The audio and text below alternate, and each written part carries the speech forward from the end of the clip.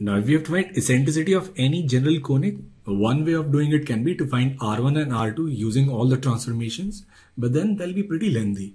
So there is one simple way to find eccentricity of general conics. Suppose we have any central conic which is ax square plus 2hxy plus by square equals 1.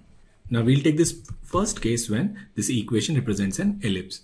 Now if we rotate the axis so that there is no xy term then we can write this equation as x square upon alpha square plus y square upon beta square equals to 1. When we were discussing transformation of axis we did discuss law of invariance and law of invariance is if the axes are rotated then a plus b is equal to a dash plus b dash.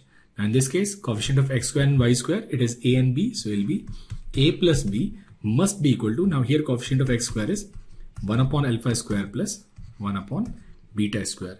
And the second one is ab minus h square must be equal to a dash b dash minus h dash square.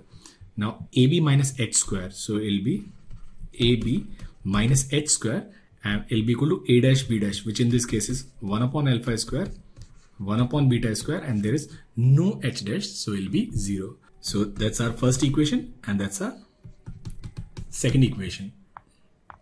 Now we know that beta square is alpha square into 1 minus e square.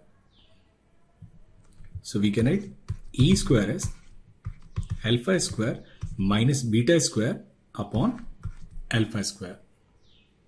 Now using componendo and dividendo we can write e square upon 2 minus e square it will be equal to alpha square minus beta square upon alpha square plus beta square. Now from these two equations we can write alpha square plus beta square as a plus b upon ab minus h square since alpha into beta whole square is 1 upon ab minus h square and we can also find alpha square minus beta square will be under root of alpha square plus beta square whole square minus 4 alpha beta whole square. So we'll get this result as under root of a minus b whole square plus 4h square upon ab minus h square. So if we put the value of alpha square plus beta square and alpha square minus beta square, then we can simply write e square upon 2 minus e square as under root of a minus b square plus 4h square upon now here it will be simply a plus b. So this is the result that we are getting in case of an ellipse.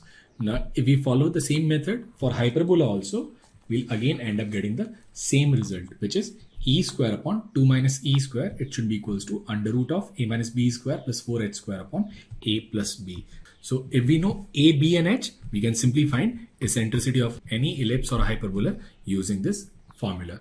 Say for example, suppose the equation is x square minus 3xy plus y square plus 10x minus 10y plus 21 equals to 0.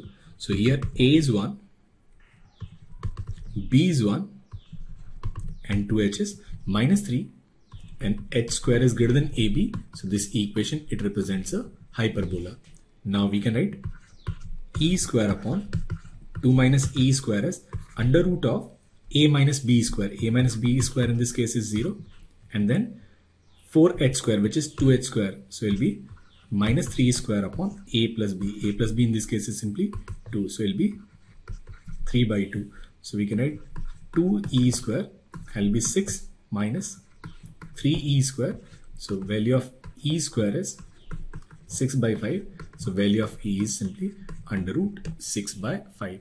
Now let us take one question for ellipse also. Suppose equation is 14x square minus 4xy plus 11y square minus 44x minus 58y plus 71 equals 0.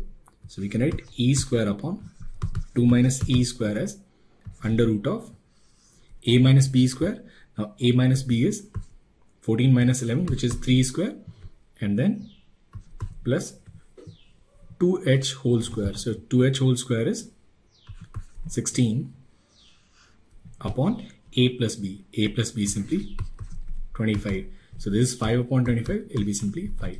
So we get 5e square equals 2 minus e square. So value of e square is simply 2 by 6. So value of E is simply 1 by under root 3. So that is the eccentricity of given ellipse.